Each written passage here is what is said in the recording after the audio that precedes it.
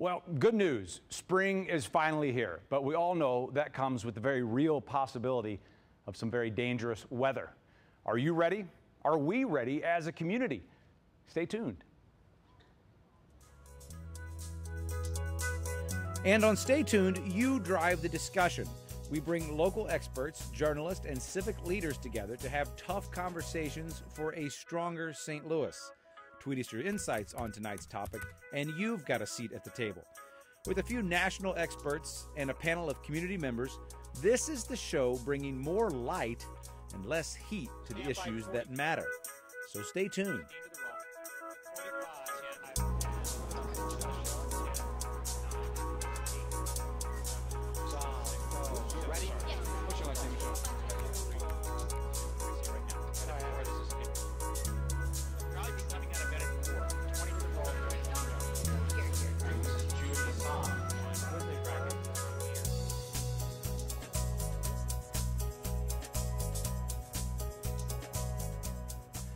Talking weather, the folks at the Weather Channel know it as well as anybody else, that's for sure. So let's start the show from Atlanta uh, via Google Hangout with a proud, we're proud to say, a, a, product of the University of Missouri Columbia, Kate Parker with the Weather Channel in Atlanta. Kate, I, I guess maybe first, if you could just kind of tell us uh, how serious of a time of year is this? I know, I know you guys have to take this time of year seriously. Uh, we take it incredibly seriously. We've already started more planning than you can possibly imagine. It happens year round, but we make sure everybody's on board throughout the entirety of the Weather Channel. Something that a lot of folks don't realize is that Weather Company has 220 meteorologists at it. 220. So we have people around the clock that are working toward making sure that everyone is prepared going into right. tornado season, going into severe season. And you're not just there in Atlanta, you get out in the field too. I'm just curious, yeah. anecdotally, can you give us an idea? I mean, I, I, do you run across more people or is it, has it changed at all, the attitudes towards preparedness? Do, I mean, nobody ever expects it's going to happen to them, do they? that I think is the biggest problem is that there's a sense of complacency whenever it comes to preparedness. And you do run across that. People don't think it's going to happen to them until it does. It goes into play from whenever you're first building your home and you're thinking about cost saving measures and you're not really thinking about what would happen if you're in the moment and you it's almost too late to wish that you had done something to mitigate your chances of having a, a major impact from a severe weather event. I know you're not just a student of weather, but a student of weather history. Can you talk a little bit about, maybe specifically too, as it pertains to the St. Louis area, how uh, our kind of our, our history is linked with severe weather, and maybe that, how that kind of plays a role in the way we, we view it? There's, I think that St. Louis is fascinating. Uh, you know, I am a product of the University of Missouri, so you know I love Missouri. Um, but St. Louis is fascinating because there was a tornado that hit um, right in the heart of what would be downtown now in 1896. And it's, it, what's fascinating is that uh, there was a paper written then, a, a, large book actually, that went into what could be done to have prevented um, the catastrophic damage that occurred. And actually, the most fascinating thing to me is that there was a research study that was done in 2001, and it kind of went into what would that look like today? That tornado going through downtown, what would that look like to, with today's building? Mm-hmm. And that one said about $2.6 billion in damage. That's what it would be adjusted for with current building structures um, in that area, current inflation. And then if you take 2001 numbers and put them in 2014 numbers, $3.8 billion, greater than $3.8 billion is how much damage that tornado in particular would have caused. Did, do you think, uh, did we learn anything from even 1896 that we still apply today? Well, what's interesting is that, you know, the recommendations that were made then were, hey, we should have warned people sooner. We should have gone through the avenues of even ringing bells at the fire stations, uh, kind of a example of our modern siren system that technically doesn't have a, there's no across the board rule for the siren system across the United States. So we still haven't gotten on board on that on really truly preparing people in that regard. And is that even the best way? What role does social media play in the future mm-hmm. of um, storm preparedness and making sure people are prepared? Um, it, we could take a lot of lessons from then and still apply them today, actually. Uh, I believe, uh, if I have this right, you were here around 2006, I believe it was, when uh, we, we, had some really, we had people without power for a long time during the summer. Uh, I think it was something uh, we, we call a derecho, if that's not, if that's yeah. the right way to say it. What, what, what is that, and what was significant about that, that summer? that well, spring? Um, it, it's interesting that that kind of became a buzzword two years ago because of a major system that went through the Northeast. But this happened in 2006. Folks were at a Cardinals game. Mm-hmm. They were out at the game, and we had this major system blow through. And you wouldn't think that, you know, you think of a tornado being the most, you know, dangerous type of severe weather. In this circumstance, you know, there are wind gusts out ahead of that that were taking down every power line, every tree limb. There's video online that you can find of trash cans uh, swinging through the Cardinal Stadium and hitting people. I mean, just really tremendous damage happened. People were out of power. It's July 19th. And so, you know, summer in St. Louis, it is a hot tamale. Yeah. And we were talking about people without power. People are passing away from heat stroke. Right. Yeah. Very, a very, a very tragic situa- situation. Inconvenient for a lot of people, uh, it, it- deadly for some. Uh, you've covered a lot of other things. Any, other takeaways that you would like people to know when you when we think about uh, Joplin, for instance, or like a Good Friday tornado that we had here in, in St. Louis? Uh, what, what else comes to your mind in this topic of being prepared?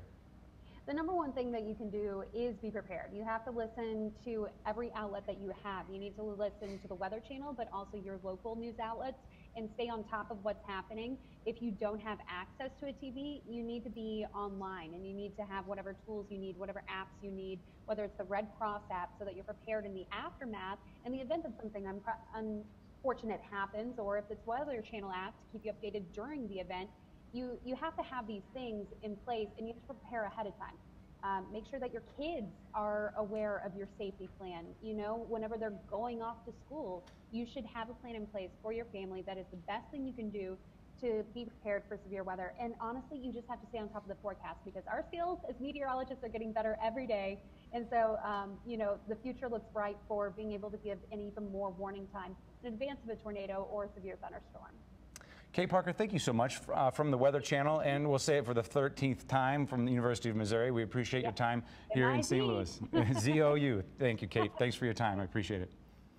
All right, let's stay right here in the studio now. Uh, let's move over here to this. Uh, we'll draw on the resources. We'll stop talking about Mizzou and start talking about SALU. How about that? From St. Louis University, uh, Professor Bob Pasken, uh, Professor of Meteor- Meteorology. Um, can you give us a sense of what's unique maybe in our region? What, remind us what we're up against here, especially this time of year. Well, we're trapped, St. Louis is trapped between the Appalachian Mountains and the Rocky Mountains. And we have this great big huge pool of very warm water called the Gulf of Mexico.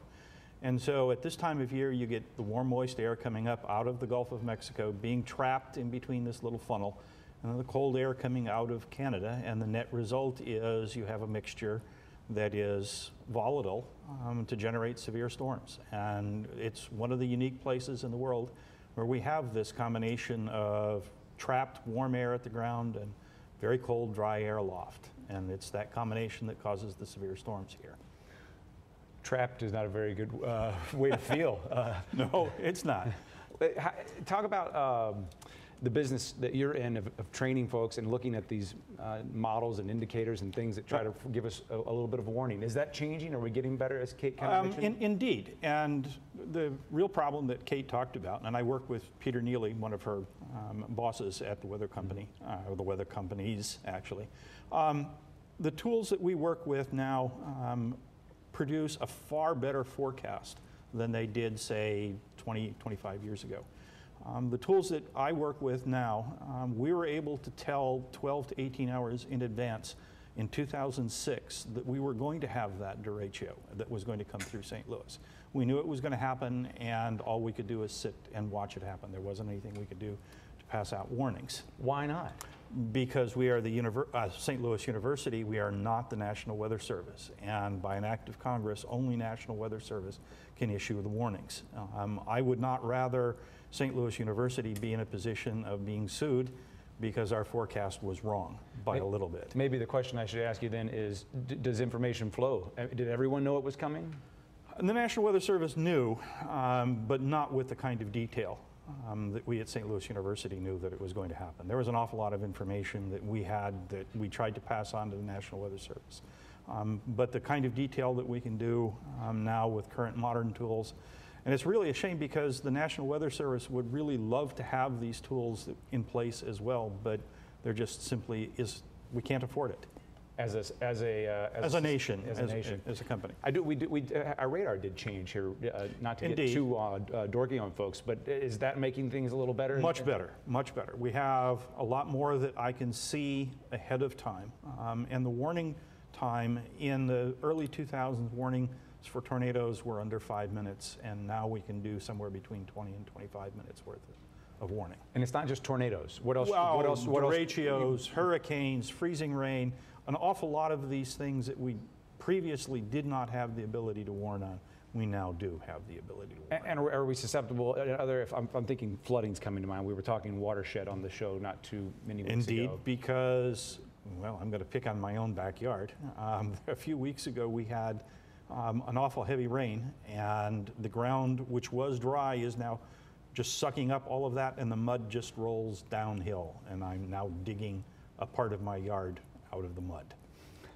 Well, um, you're trapped and, and, and you're forced to dig your way out. out. So, right. all right, uh, Professor Bob Pasken with uh, St. Louis University, we appreciate your time. Uh, We appreciate you being here. Now, now let's go to uh, the Nine Networks, Jim Kirchherr, who uh, ma- paid a visit to St. Louis County's Emergency Operations Center for a look behind the scenes there. At the end of a road in Chesterfield, there's this building, St. Louis County's Emergency Operations Center. Actually, it's a building on top of a building or on top of a bunker.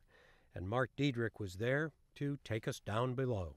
you, the building was built in the late 1950s, uh, originally as a nuclear fallout shelter. Uh, was designed to hold 75 people for two weeks. Uh, the idea was if there was a nuclear attack in St. Louis, the mayor of the city of St. Louis and the county executive and their staffs would come out here and operate city and county government. And this is, this This- is the fallout shelter door. This is actually the front door at the time. It's from an old submarine. Because we're uh, two stories underground, uh, encased in 24 inch concrete. So it's not just really the, the structure that's an issue, it's really your communication system. It's being, staying in touch. And really, that's what we're all about. We get information from the field, and then we send information out to the field. And you've got sort of a command center here? This is here for all kinds of disasters and emergencies earthquakes, floods, maybe not an air raid, but maybe a terrorist attack, a chemical spill, or more likely in this area, a tornado. St. Louis has had plenty of experiences, plenty of losses because of severe weather. 1896 was the worst in terms of lives lost and property damage.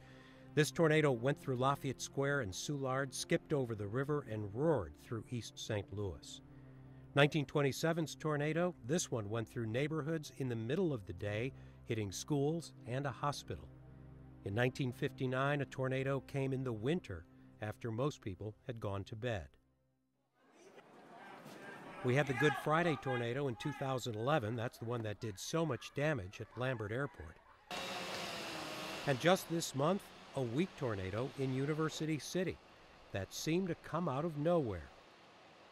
In that storm in University City, I'm confident that's where that tornado started. So there was no time to see that the tornado had begun and then get the warning out. And I can even tell you from my perspective, the storm that we knew was coming in in the morning was not the one that was worrying us. The one that was worrying us was the storm that was coming in later that night. That just goes to show you can't always predict what weather's going to do and how it's going to react. When the Weather Service issues a tornado warning, somewhere here or at the 911 Operations Center, somebody presses a button. Actually, they click a mouse and sets off the sirens. It's got to drive you nuts when people will rush to the window when the sirens go off to see if they're going to see anything. That's exactly what happens a large uh, amount of the time. Uh, I jokingly refer to it as the Great Neighborhood Meet and Greet Program. The sirens go off. A lot of times the neighbors come out to their front porch and start talking to each other. It doesn't look bad here, and that may be the case. But really, what we're trying to do is give you as much warning as we possibly can. Uh, and really, the first thing that you should do when you hear those sirens or you hear your weather radio go off is to head to the basement and then find out where the storm is. A highlight of this tour is the old fallout shelter emergency exit. If the building above collapsed, the stairway blocked, this was the way out. They won't be giving this tour much longer. The county has built a new emergency operations center. Modern, bigger, better. We can hope we'll never need it. But we know we almost certainly will. For Stay Tuned, I'm Jim Kirchherr. Thanks to Jim Kirchherr for that. Let's uh, talk what does preparedness look like with a couple of uh, gentlemen who, who know and think about this kind of stuff on our behalf largely a lot of times. Let me do introductions. Dale Chambers, Public Safety Administrator, St. Louis Area Regional Response System. That's with East West East West Gateway. And Matt Hunn, he's with the Army Corps of Engineers Emergency Management. I guess I'll start by saying what, what comes to your uh, minds when we, when we say natural disaster? What, what does that mean to you? Well, for natural disasters, um, it's tornadoes, it's floods, um, but it could certainly be a windstorm, and in our region, an earthquake as well. And how often do you think people are thinking about this kind of thing? I- I- Is the general public prepared? We hope they're prepared. I mean, that's, it's, it's a topic that we talk about all the time, that we talk about with our families and friends, not just in the office. It's, it's part of the, our daily efforts to do that. Is it a, is it a tough sell though? I mean, I, I'm, I'm curious if you know you got to go to the grocery store, pick up the kids, you know, make uh, make pay your bills. Is this really something that you feel like we are prepared as a region for? I believe that we're underprepared as much as we try to prepare uh, individually and as a region, um, whether that's a government agency or a nonprofit agency that supports all of those operations. It's unfortunately it's just not enough. Uh, we as a as a society have to change our culture and, and our culture of thinking of being prepared. We're such a reactive culture that um, it doesn't happen to me, and instead we need to be on the well, it will happen to me, and let's what what can we do to prepare for that. So when something does happen, we have a tornado like we've already had one this spring. It may seem like a reaction to those of us on the outside looking in, but I'm but it's not. I'm gathering. What what happens when something hits the ground? Well, when the disaster hits, and, and working for the Army Corps of Engineers as a federal agency, we're here to support the state and local communities. We're not down on the ground knocking on people's doors right off the bat, but we're definitely on the phone calling the state saying, hey, if you need our help, we're there. And in turn, we provide that sort of support. But as far as when you start looking at tornadoes or flooding and everything else, everybody looks at it. Well, in, in St. Louis, what's everybody do? They run to the grocery store and buy their bread and milk when they think they're going to get the warning. We love our French toast. We do. And, but that's not enough. I mean, it's got to be where do we live at? And some of the, uh, lately, in the last few weeks, we've heard what? We've heard the uh, MSDs put the bid out, out on the radio. Know your zone, know your flood. So other communities are doing this, and we're all talking about it. How do we get that word out? How do we talk about that? And from my perspective, as I'm going long-winded here, is the okay. part that that we, we talk about a disaster hits. We talk about the, the tornadoes. We talk about Joplin. We talk about the 2011 flooding. The 2013 flood event was the fourth highest flood on record in St. Louis. How many people knew about it? I mean, there were a lot of, lot of agencies and a lot of people working to keep people safe. So you've got a very short window after that where everybody kind of goes, oh, gee, it's really bad. And then, okay, complacency takes over and they go back to their normal life. They- they- We we go out and pick up our weather radios right after a tornado, but not, uh, not, not, at, not as time goes on, perhaps. Well, it's important to keep them plugged in and batteries plugged in them. Uh, It's, um, you know, keep them on and active and where you can use them. So just owning one is not going to serve any purpose if it's not uh, on and useful. Why, why is this important to the East-West Gateway? What, what, what, what, what's the stake? Well, as, as part of the St. Louis urban area, it's, it's a collaborative partnership. I mean, we all have to work together. A tornado doesn't just land on a single block in St. Louis City. It tends to want to cross county lines, uh, cross the river into state lines. And so it, as a collaboration, we need to work together and so that we're all on the same page. We're trained together, that uh, we have equipment that's similar, uh, in the best ways we can and plans that, that we can work together. Oftentimes states have their own laws and you have to work behind the scenes to, to help change those laws or to adapt them so that they can um, work together more quickly. And, and does this go beyond governments, beyond municipalities? I mean, Is there, is there a role for business? Is there a role for, obviously, we've talked about individuals, but other community organizations? Are, is that something that you guys try to coordinate with as well, or that you think needs to have a, a better coordination on this be, be in on this conversation? Oh, they already are on this conversation, and I think that um, businesses do need to pick up a lot more of, um, be more interested in, in this philosophy because so much of our infrastructure across the country is small business or large business in that for infrastructure, but certainly small business. It's the economics behind um, the country that needs to prepare for um, anything that's going to happen. And, and, that, and that's a, a mistake that a lot of people tend to take. They, you look at the 2011 flooding, and people looked at it and they said, "Well, gee, it's a bunch of farmers across, uh, you know, South Dakota and Nebraska and Kansas and Missouri, and who cares?" But when you start taking and, and looking at that, and, and I worked. Uh, I was working with FEMA at the time, trying to address some of the response efforts and the recovery efforts on that. And you start taking and you say, well, this school, and then this town, and then this county's impacted, and then my family took a vacation. Where did we go? We went up north and along the Missouri River. So you started seeing all the impacts to, the, to our nation as a whole. So there, preparedness is, is where we make the opportunity, but it's, it's preparing for that disaster that nobody wants to see. And as Dale was saying, we, we we all work behind the scenes sometimes because people don't want to talk about it when the, when the sun's shining and the weather's good. We need to prepare for that. Ha- ha- Last question, did- have you seen the attitudes shift at all in the right direction? I, I, I think from a relationship standpoint, in uh, 2008, we stood up, the Corps of Engineers stood up the Interagency Levee Task Force, which was kind of a change in way of doing things. It forced, it forced other federal agencies to come together along with the state and these non-governmental org- organizations to come together at one group to address these problems. And we started talking because it's about the relationships that are formed when everything's good. When the sun's shining, we're talking to one another. And then when it hits and everything goes bad, then we can work together and, and provide for the public safety. Matt Hunn, thank you for your time. Dale Chambers, thank you as well. Uh, we appreciate your insights tonight. Uh, don't forget, we'd like to hear what you have to say about this as well. So find us on social media, hashtag stay tuned STL. And in the meantime, we stopped by a blood drive recently to find a very unique way to prepare for a disaster. When a disaster strikes, it's the blood that's on the shelves now that's going to help patients in need.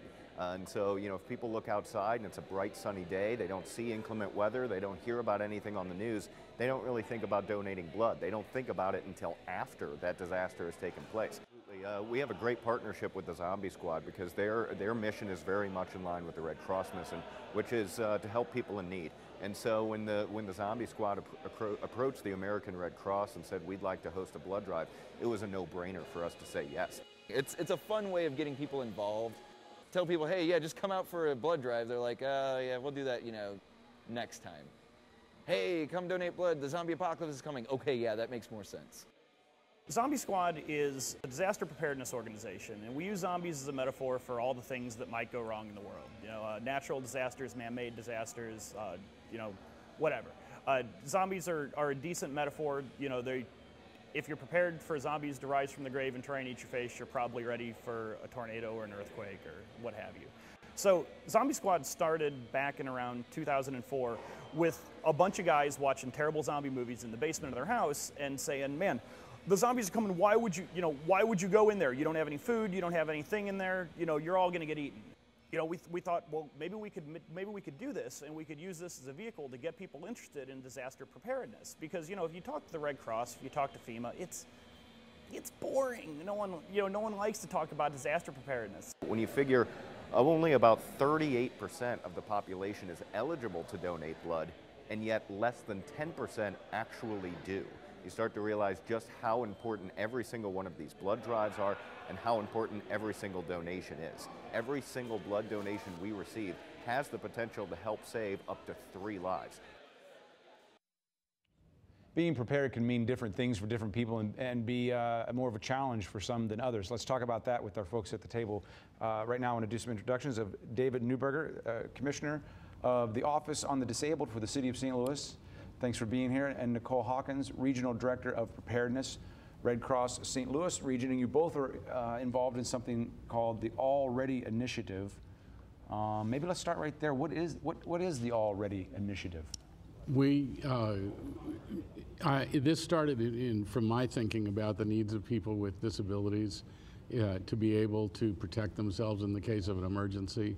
And we worry uh, uh that folks with disabilities are going to be the second group that's looked at. If, if you, I always use the example, if you have a fire in a building and you, and a, you have five stories and you have, empty everybody out and you uh, evacuate everybody. Then you go back and see who's lost. And the guy on the fifth floor in the wheelchair is sitting there.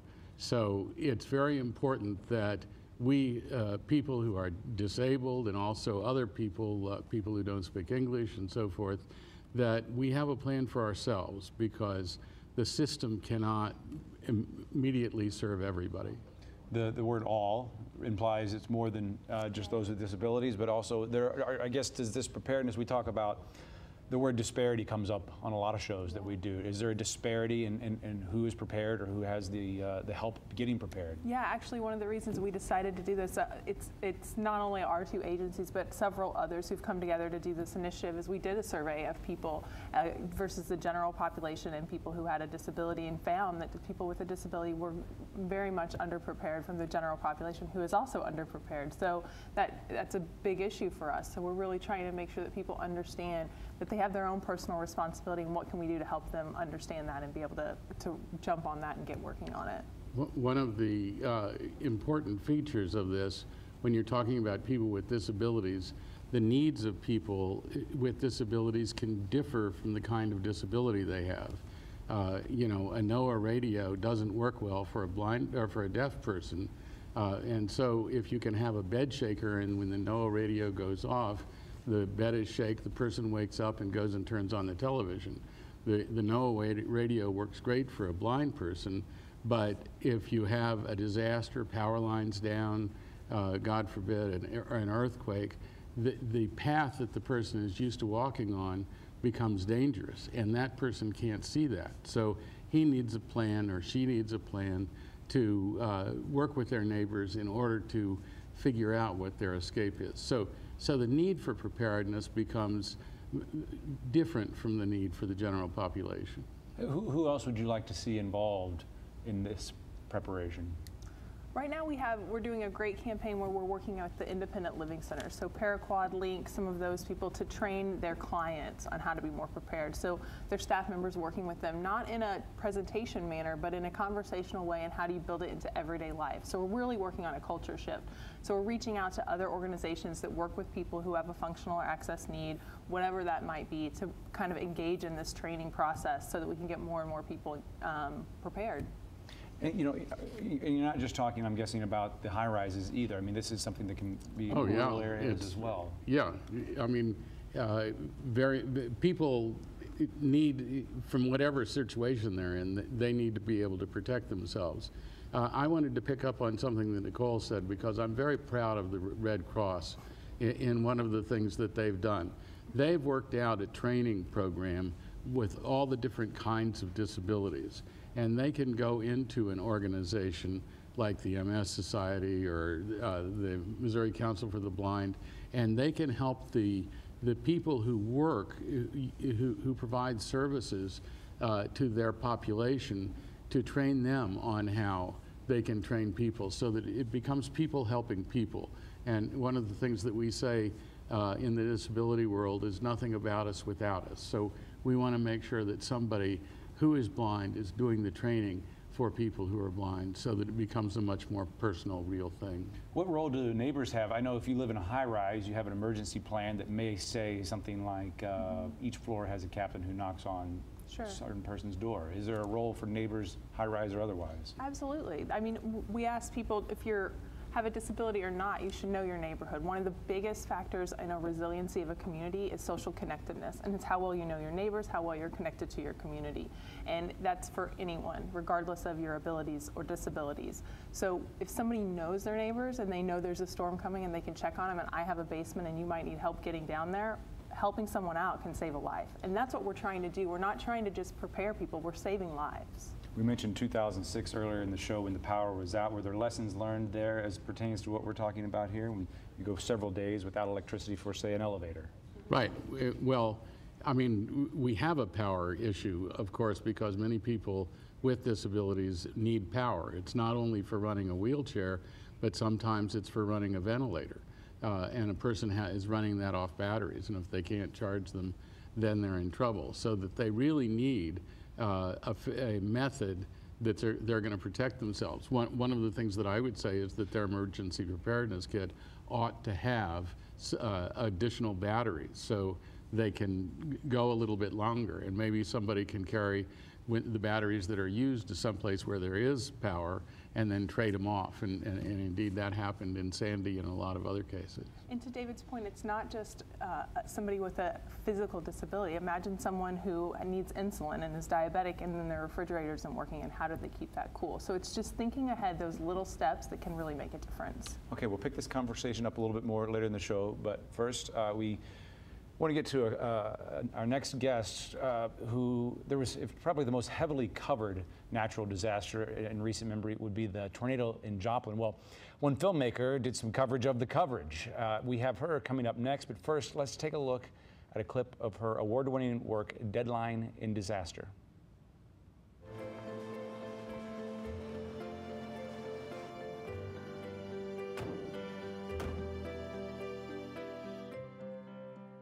The Joplin Globe, they showed up Monday morning with a huge stack of papers, and it was, it's just gone. And I thought, how did they get it so fast? Not knowing that they suffered some severe tragedy too, but they just, they were right there on the spot and having the paper arrive every single day. Just you don't expect that. As a clip from Deadline in Disaster. The producer of that film is Beth Pike, and she joins us on the Hangout now. Beth, welcome to the show. I guess just tell us a little bit about this film. How, how did this come about? Well, thanks, Casey. I really appreciate being here. Um, the film basically came about, uh, I was sent down to cover the tornado by CBS News.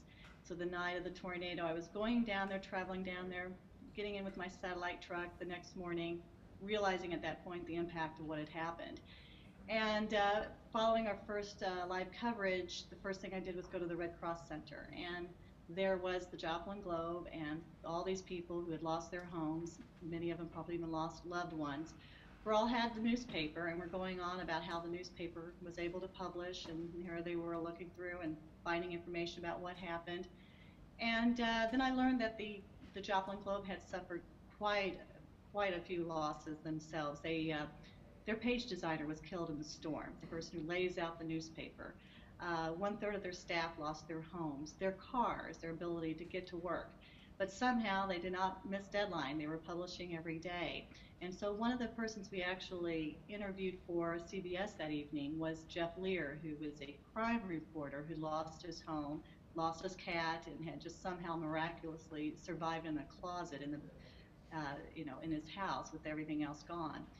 And uh, so, so that was kind of the genesis of it. And by day two or three, I had talked with a good friend of mine who uh, covers uh, Associated Press or had retired from the AP and who had given me some contact leads and said, you know, this story of the Joplin Globe really ought to be told at some point, you know, and it, but it needs to be told soon while this is all yeah. happening.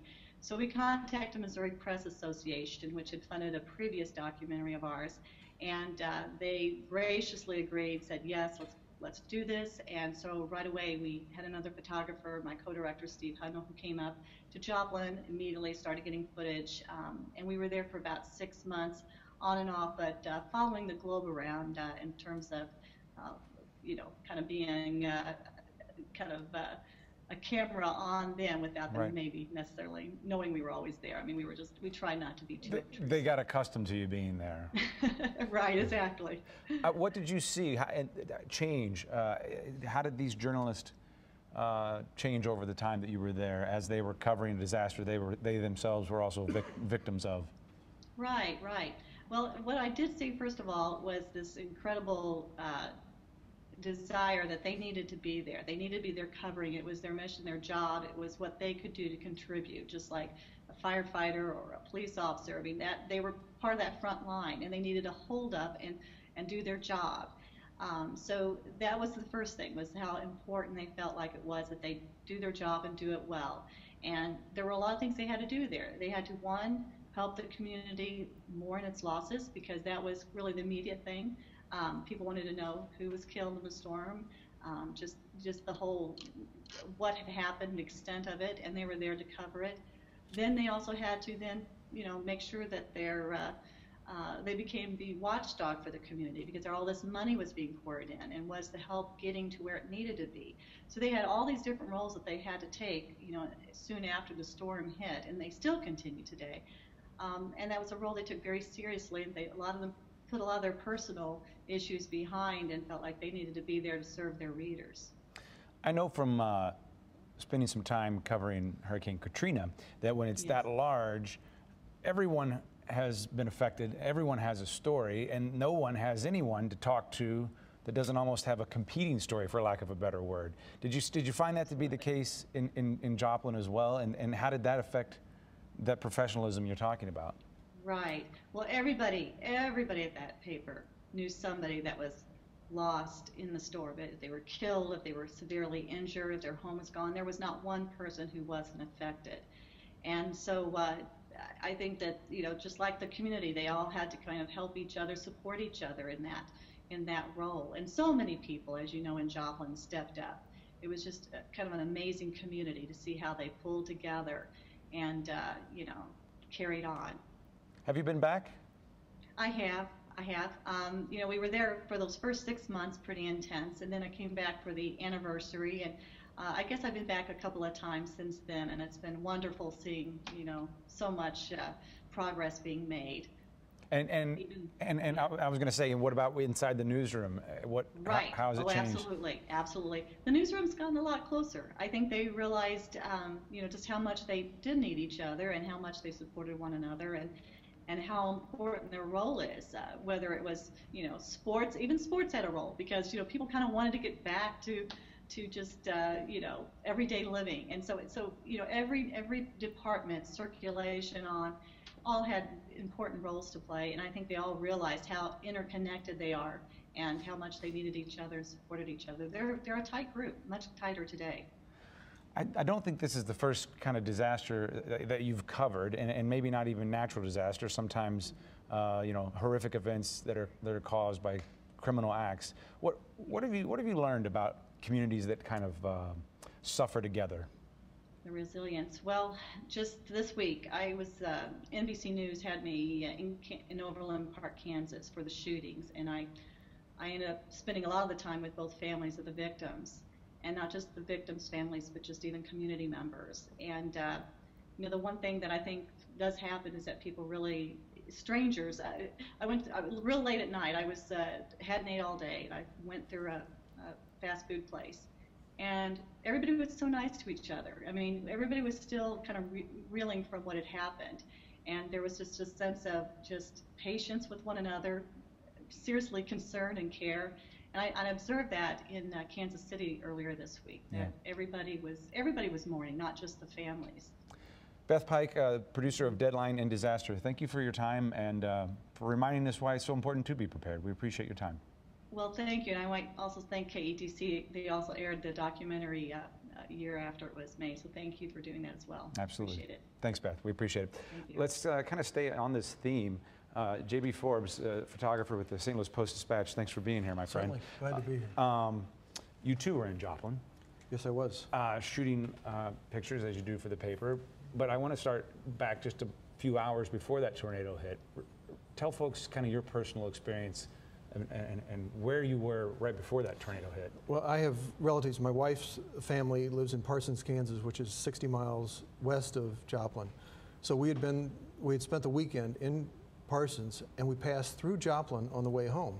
So we came through about 12:30 that Sunday, and I remember distinctly that there, it was sunny, it was humid, there were some fluffy clouds, but other than that, it, there was no sense of urgency or, or uh, impending disaster. We came up 44, and somewhere close to uh, St. Louis, my niece, who lives in Joplin, texted us and said, I'm okay. And we texted back and said, okay from what?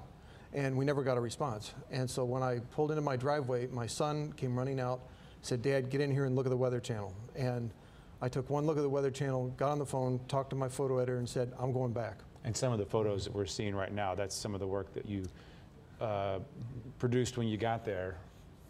What, Yes. What stands out? What, what was the what impression stand out when you first saw the, what was when the sun came up, perhaps? Well, the first impression was uh, we drove back, but after spending the day and I was already worn out, um, we stopped at the uh, along the highway until it started to get light. We drove on into Joplin, and I was at ground zero when the sun came up. Got out of the car and I walked about 50 feet, and there in front of me was uh, the legs of a woman sticking out from underneath a tree. And uh, I knew then and there that this was going to be the worst thing that I had ever seen. What does that do to you as a journalist? Uh, generally, you have to steel yourself for events like that, and you certainly can't become too emotionally involved. But when you see something of this magnitude, I, I had never seen. I, have covered many a disaster. You've and, been and, to war zones. Yes, and many, uh, many a tornado and earthquakes and hurricanes, but the the extent of that disaster was really something. And then the next day. Uh, the National Guard provided a helicopter for many of us, and so I was up over the city and was just amazed at the uh, extent of the damage. I was sitting next to Al Roker, who was there for the Weather Channel, and, and all of us were just speechless as we looked out and saw it looked like somebody had taken a large hand and just clawed their way right through the center of Joplin. So, and which, by the way, the mayor I've heard say recently, you can still see even with the rebuilding and with the re, with the regrowth, Mm-hmm. there's still that scar that goes right through their city. We are so easily distracted, and, and there's so much uh, information, if you want to call it that, coming at us at all times. Uh, what is your role in that s- situation to bring? i- i- Is it hard to bring something like that home to let people know just how serious it is, like you're saying now? No, I think it's very important to let people know. And uh, it was through our pictures that immediately ran in the Post Dispatch along with the stories that uh, people could see the extent of the damage, hear the personal stories, and uh, volunteers step forward almost immediately. And, and people see that and say, What can I do to help? You did something else with your pictures as well. Uh, tell me about that. Well, this aff- this did affect me more than a lot of the events that I've covered. So, um, myself, along with uh, Robert Cohen, who also went down there from the Post, uh, we decided to try and do something above and beyond just our, our coverage. We didn't want it to end just with the pictures in the Post. So we organized a, a benefit auction. And the Regional Arts Commission here in St. Louis um, was nice enough to donate the space. We got um discounts on the printing and the framing. We had a, a wonderful event. We made some money for Joplin and we were able to send it down there to the relief effort. And then afterwards, uh, I took the pictures and uh, a lot of people donated them back to me and said, do with them what you will. And, and I took them back and uh, donated them to the mayor in Joplin. Did this uh, change? Were you a prepared man already, or did this change the way you think about uh, preparing for the unknown? Um, good question. I, I- think I, I, you just have to move, Yeah. is the way it comes down to it. Very good. You have to be ready to go. JB Forbes, thanks for your time and uh, Absolutely. thanks for your work. We appreciate it. All right, uh, let's check social, social media, see what you're staying with the hashtag.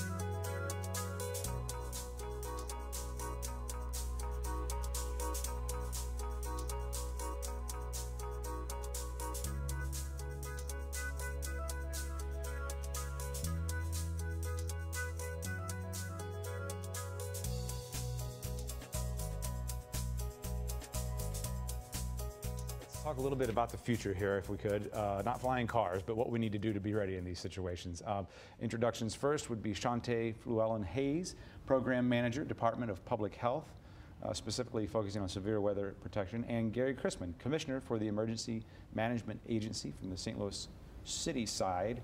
Um, wh- what can people do now to be prepared?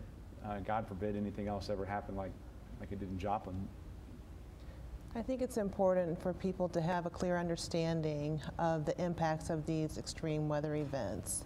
what types of events that we have, extreme weather events that we have that occur locally, as well as the health impacts that may occur, primary being death due to cold, heat exposure, uh, flooding, tornadoes, and then secondary being uh, increase in incidence of asthma or other respiratory illnesses due to like an extended period of, of, of heat or something of that nature. Um, I think that uh, after which, once they have this understanding of the, the types of events that we have and the health impacts, then they have the ability to better plan what they need to do to best prepare for their, themselves and their families, um, what things that they would need to consider in a kit, and um, the importance of staying informed um, about the situation as it's occurring as well. I don't remember when the little earthquake uh, hit in southeast Missouri. This has been 20 some years ago, I guess now. But I remember it was pretty popular to have your kit under the stairwell after the earthquake shook the ground just a little bit. Yes.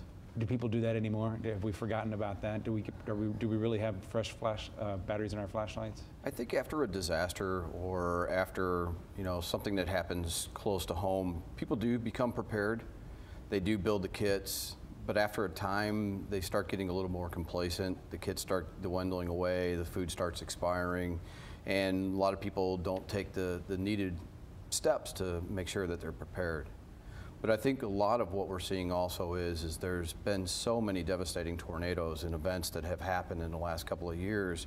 The individuals that I've talked to at neighborhood meetings and other um, get-togethers have really expressed that they are starting to get more prepared. They want to know how they can be prepared. They actually are putting those kits together and they're actually getting NOAA weather radios to make sure that they are prepared because you know you guys are reporting on it and they're starting to see that these are deadly tornadoes.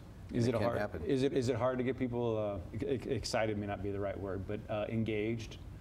I think once an event occurs, or for example, when we've had we've had the uh, the extreme weather that we had during the winter, mm-hmm. it was easier to to bring up the issue or the importance of developing a kit and being prepared and making those plans because it was at the fore. These things directly impacted them during these events. And so I think that uh, with the frequency that we're having these extreme weather events, I think it will be a little bit more, it'll, it'll, it'll help us to, um, to, to help to uh, provide that shift to a culture of resiliency within our communities in the region. What are you seeing? Are you seeing? Uh, speaking of kind of the culture of things, I had a gentleman just tell me today. He uh, he started out. He got CERT trained. Uh, now he leads a CERT uh, teaching group. I don't think he was offering me a breath mint. I think he meant I think he meant something else. I'm sorry, nothing from the gallery back there. Um, he was. CERT uh, is what and how and how is that growing and playing a role in this conversation? CERT is the Citizens Emergency Response Training. Um, it actually came out of California following a number of earthquakes, and what we find is is that. You know, we talk about our traditional first responders, which would be the police department, the fire department, emergency medical services. Really, it is the citizen because they're the ones that are on the scene first. So what we try to do is we offer them this CERT training to get them prepared on how to deal with um, minor fires, how to do basic first aid, how to do basic search and rescue, and also how to build those kits, how to have an emergency kit. Do you have a location where your family will meet up if we have that earthquake? Do you have an out-of-town contact that you have for everybody in the family because a lot of times you can make long distance calls, but you can't make local calls. So this kind of puts all that training together over a 72 hour period, and then you can bring it into your neighborhoods, build CERT teams, you can bring it into your work, you can bring it into to universities, and it helps people be prepared and understand why it's important to be prepared. Has, been, it, has this been successful and helpful? I mean, it sounds like it might have kind of tapped into a, a desire, but maybe people didn't know where to put those energies. Is it helping? It, it, has, and we've really got a number of CERT programs that are going on around the region. Um, we work together, but we do have independent CERT programs uh, for St. Louis County, St. Louis uh, City, St. Charles, and other areas. And it helps people make sure that they're prepared. And when we talk about preparedness, it's not just be prepared at home. Be prepared at work, be prepared at, you know, where if you're at church, on vacation, and everybody in your family needs to have that kit Have as a, well. have a plan for your kids while they're at school without you. Absolutely, absolutely. And then also your pets. You know, do you have a kit for your pets? Do you have food? Do you have kitty litter? Do you have treats? Because a lot of times, and we know people are not going to leave their homes without their pets. We need to make sure that they have provisions for their pets. So if we do have to shelter them, we have that starting point. Uh, let's take a quick break. Uh, we want to bring everybody that's been on the show back to the table and see what that conversation looks like. Uh, I think we have, might have some ideas that we've skipped over or we want to kind of uh, expand upon. Uh, but in the meantime, we'll take a look at uh, what you're saying online, and when we come back, we'll have more people at the table.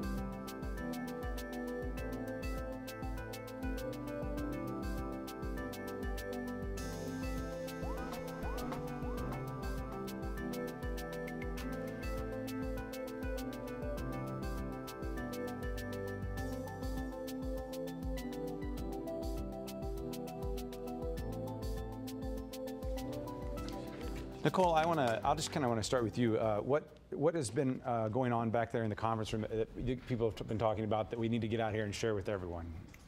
You know what? We've been congratulating everyone on how great we're doing. but we're also talking a lot about, um, you know, everyone else's topics. So I'm adding things about what they're talking about and they're talking about. And So what? So about. what? do- I guess my question is, what have we missed tonight? A- And, anyone, feel free to jump in here. Uh, JB, come in close. I don't feel like you're too far away. Um, So I know one of the big things we're talking about is storms, but I think we also haven't really mentioned fire safety. So the disaster that we have most often is single-family fires in our region, and they kill the most people and cause the most property damage, which is a really big deal. Uh, you know, we never want to lose a life, so that's also something we can talk about. It's really Well, and, and, and that reminds me then too maybe of uh, a different demographic age-wise too. Just down here on Lindell, uh, two years ago maybe we had an apartment that burned and displaced a lot of college students. That uh, they may have grabbed their laptops, but if they didn't grab their ATM card, they didn't have anything. Is that something you guys deal with too in terms of?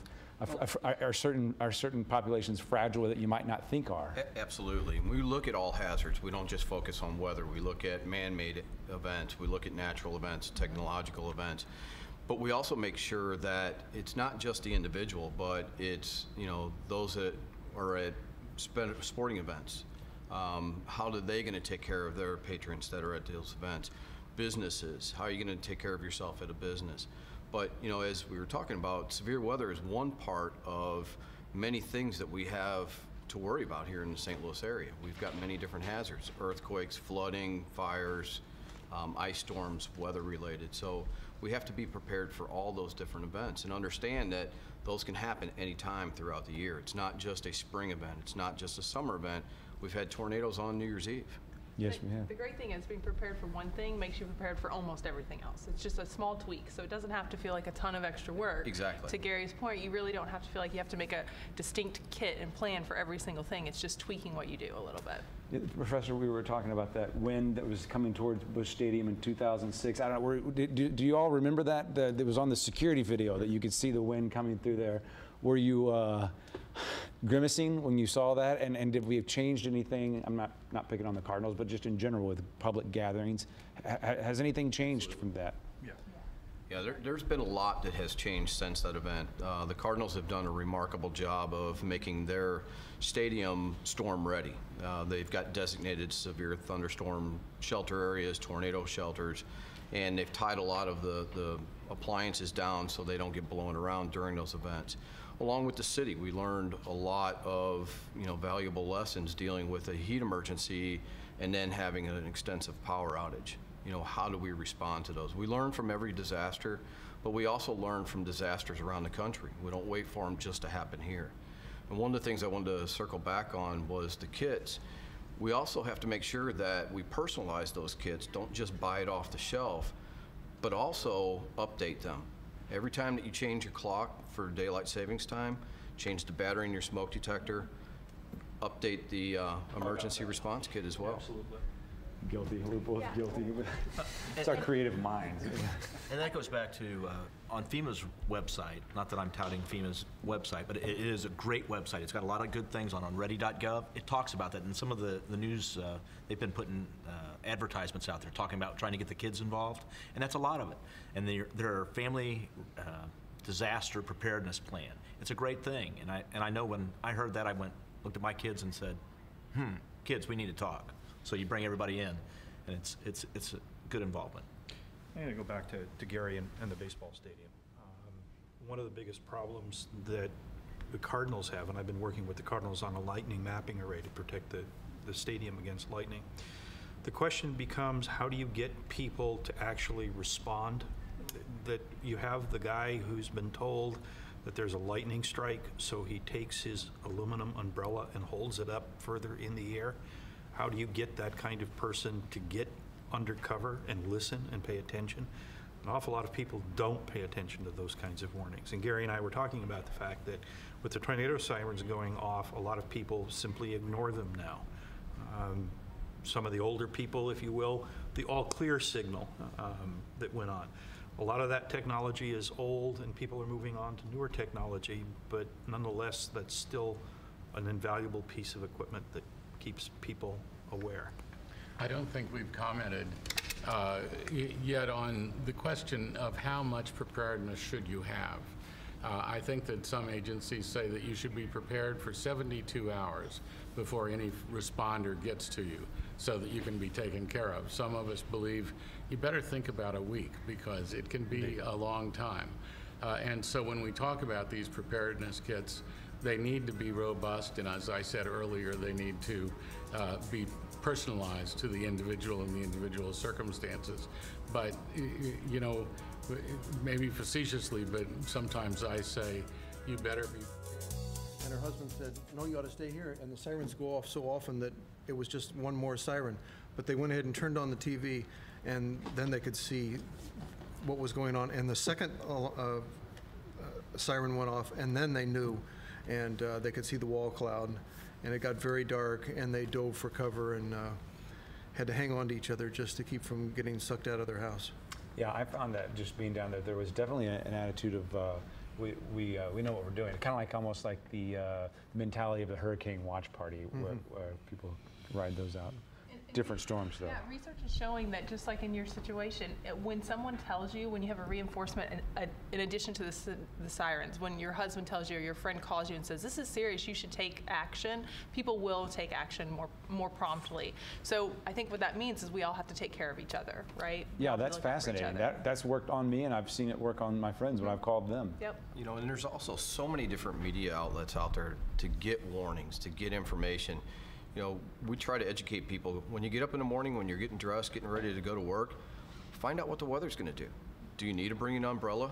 Or are you going to have to worry about tornadoes? You know, make sure that you're prepared, not just surprised when that alarm goes off. I can recommend a fantastic television station with an excellent weather team if anyone wants to, to tune in. I, I know even people at the Post watch Channel 5 for their weather, so. Um, we're, we're, on the web now, by the way, so anything else you guys want to say that we haven't touched on? Yeah. Definitely. Uh, as far as making sure that there's information and understanding out in the community, uh, the program that I'm in definitely takes advantage of any types of outreach opportunities, whether it be health fairs. Um, a lot of times I've been invited to come to speak at different functions in order to, to get more information out about the extreme weather events that we experience, as well as um, uh, reaching out to children. You know, start, starting young with the understanding of what types of impacts that we can experience and what they can do to play a part in in building a more resilient community as well too. So I think that those are definitely two key components, getting that information out there. And if I could add something to that as well, you know, we're talking about preparedness before the storm hits. Absolutely. People have to understand what's going to happen after the storm. They may not have drinking water. They may not have sewage they may not have food for a period of time, as we've talked about, but how do you rebuild your life? learn from those events that have happened to other people and find out what emotions did they go through? How did they deal with that? How do we get back to some form of normalcy? Dale, final thought. Oh, a final thought. Just, Wh- you what's, know- what's on your mind? It doesn't. Ha- you don't don't feel pressure. Oh, no pressure at all from this crowd. But um, no, it is. It, you know, we think um, in emergency management, we think local. Uh, you know, every disaster starts local and ends local, and preparedness has to be that same way. Is that we have to start with an individual, move to the family, move to the to the neighborhood. Make sure you know who your neighbor is. Make sure that they have what they need in case of, a, of an emergency, and then you go up to the school that's that's in your neighborhood. Then the the next building, the next building, and then it gets into a bigger community. The community goes into a region, and then we get and then it comes back to you. Okay, let's start it out all over again with the next round. And I think that's where we really have to be, um, just changing our, our mental focus to be on the front end of that. I had one last thought. Is it, it- so I'm thinking, you know, um, I can see how my sister and brother-in-law have changed with the addition to their family with their first son. Maybe, what do, is the uh, is the single person harder to reach uh, in terms of? Uh, yes, absolutely. caregivers, no matter who you're caring for, have a sense of um, they need to protect someone and take care of someone. So they're much, they're like the target target audience, but they're most of the population, right? So that's great. And so we kind of have that middle ground where we have these college and high school kids who are invincible, right? And we've got to teach them differently too. So we're looking at mobile apps and things that make it more fun for them, so that they'll have the knowledge still, even if they don't always want to take it. I'll kick in here now. Yeah. Boy Scouts of America, who spend an awful lot of time with the concept of be prepared. Um, if you want to reach young people, um, then have the Boy Scouts who have a whole lot of very young people who have been taught how to be prepared. And my own son's um, was a scout, and he has his own bug out bag. Imagine that. We didn't have to teach him that. I'm gonna have to Google uh, bug out bag. so that shows you my level, I guess. But uh, It's I- the emergency bag that Gary and, and the others. if you need to bu- if you need to bug out. If you need to bug out, you have something to take care of yourself. Um, ours is set up for 72 hours. Um, we're young yet. Thanks, guys. I appreciate all your time, ladies and gentlemen, I should say.